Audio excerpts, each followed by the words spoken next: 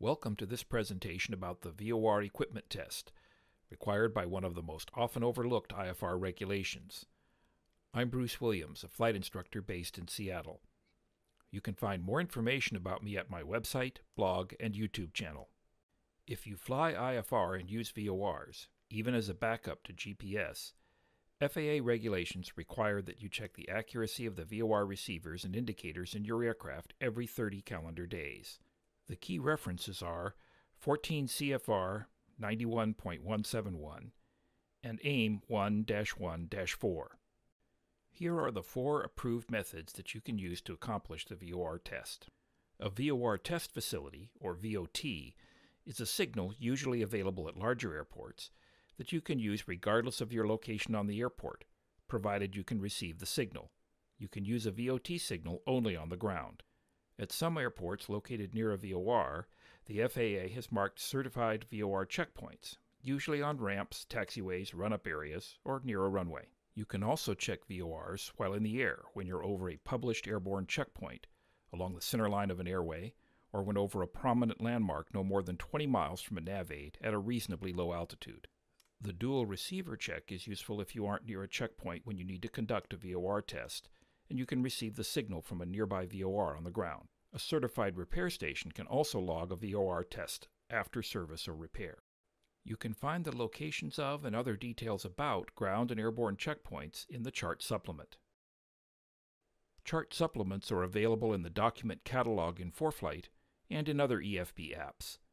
Make sure that you download the regions necessary for your flights. The table of contents of the chart supplement shows where the lists of VOR test facilities and checkpoints begin. VOR receiver checkpoints and VOTs are listed separately and sorted by state and city name. Here's a typical list of VOR receiver checkpoints, both ground and airborne, in Washington state. In the Pacific Northwest, VOT facilities are available at Seattle Tacoma International Airport, Boeing Field, Spokane Felts Field, and Spokane International Airport. Here's the procedure for using a VOT.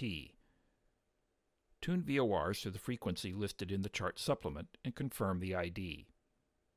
Set the OBS to 180 degrees.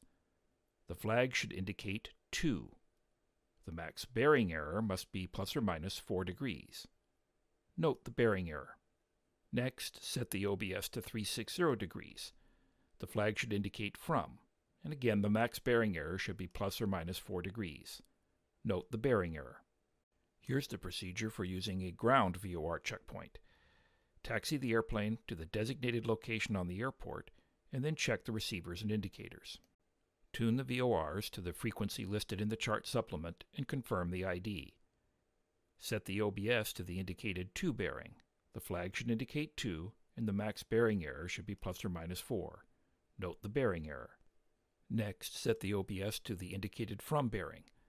The flag should indicate from, and the max bearing error should be plus or minus 4 degrees. Note the bearing error. If you are checking VORs in an aircraft with a PFD that displays bearing pointers, the process is simpler. There's no need to twist OBS knobs and display each navigation CDI separately.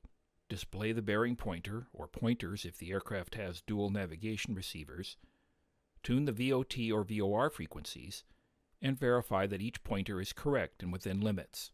Here both navigation radios are tuned to a VOT, and both bearing pointers show 180 degrees to and 360 degrees from the test signal, with no bearing errors.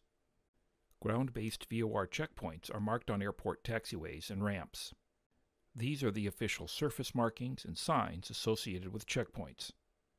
Here's an overhead view of the VOR checkpoint at Moses Lake, Washington.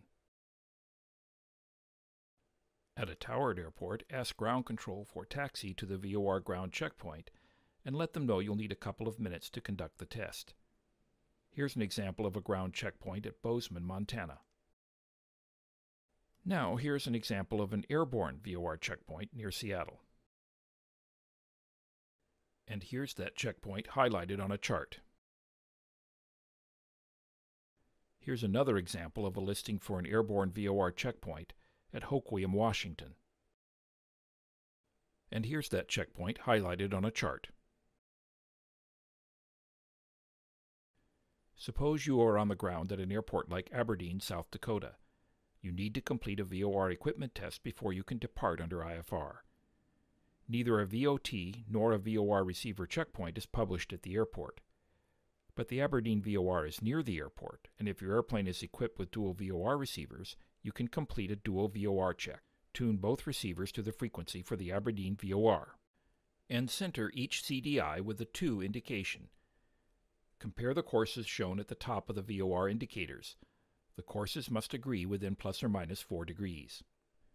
Next, turn each OBS to center the CDI with a from indication. Again, the courses shown on the VOR indicators must agree within plus or minus 4 degrees.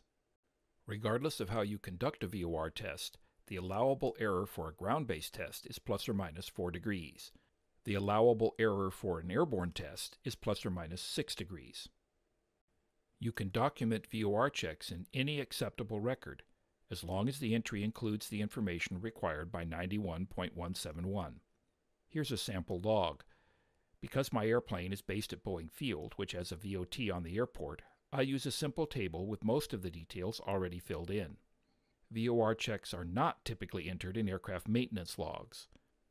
You only have to show that a test was completed within the previous 30 days.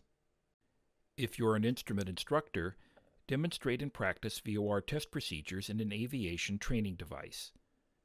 Using airborne checkpoints is a great exercise in an ATD, and if VOTs aren't simulated, you can move the virtual airplane to an airport with a designated ground checkpoint or a nearby VOR.